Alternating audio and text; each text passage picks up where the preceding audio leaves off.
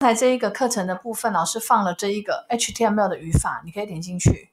它是一个网页，好，我们点进去哦，查看原始资料，好，它是一些基本的那个 HTML 的语法，哈。那我们进来之后啊，好，首先第一个就是结构，还记得我们今天讲的结构吧？进来之后，好。这是这个就不要理它嘛，对不对？我们先看 HTML 开始到 HTML 的结束，它前面是宣告的哦，这是它的宣告图片那个档案的格式，就不用管它哈。所以呢，这个地方呢，我们可以看到是前面的地方是 HTML 开始结束，hand 在这边，然后这是 body，同学 OK 吗？好，这是可以去分开的哈，分开的部分。所以这是 title 的地方，我们今天教的，还有 H1 跟 P 都教过的。好，所以这是它的基本的语法结构。那我们直接看 basic 这边。进来后，你可以往下看，它这里呢就会开始跟你讲说，如果在这一页中我的文字要加什么内容，它就会帮你把它打上去。所以是 H one，今天教的 H one，所以下方可以看一下预览，它有分成 H 一二三，有没有这个？所以你可以 try it yourself，点进去，它出来就长这样。它是用这个网页编辑器的，你看这里长相是这样，那出来就变这样。想了解老老师的意思哈？你可以看一下你的那个呃字。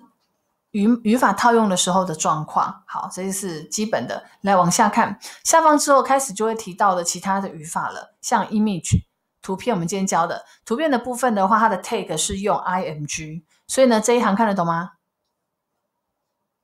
跟老师讲，这个是什么意思？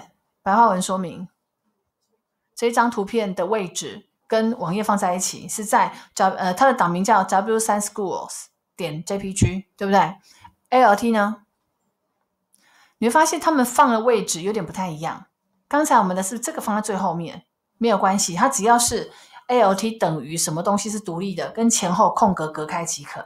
所以你的高就算放在前面也没有关系，这样知道吗？只要是红色，这个就是它的一个参数，你看都是红色的，你只要不要放在 image 前面就好，知道吗？img 是宣告开始嘛，后面是四个引数的位置，那四个引数你要怎么摆随便你，但是他们呢一定有一个规则性，就是。呃，每一个每一个之间要一个空格隔开，了解好，所以它放在前或放在后，其实倒无所谓。好，那一般来讲，我们都是把路径放前面，后面就是它的参数的，然后宽跟高都一般是放在一起，所以你的替代文字放前面或放后面其实都可以的。好，所以它的替代文字就会出现这一个，好，w 三 schools 点 com，然后宽度是一百零四，高度是一百四十二。那你发现没？引数们都是用双引号隔起来，双引号，双引号，双引号。这样了解哈，所以这一行要看得懂喽。